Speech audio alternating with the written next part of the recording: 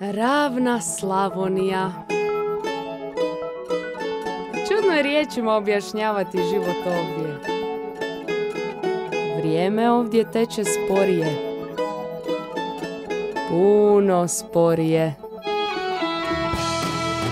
Što ne znači da ga nemamo čime ubrzati.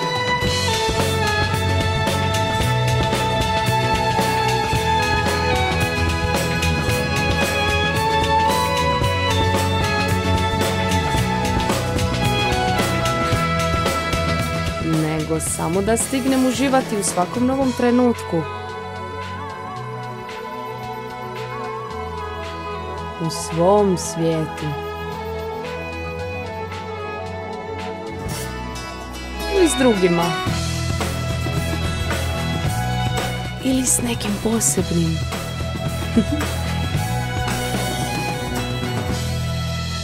Daleko od drugih.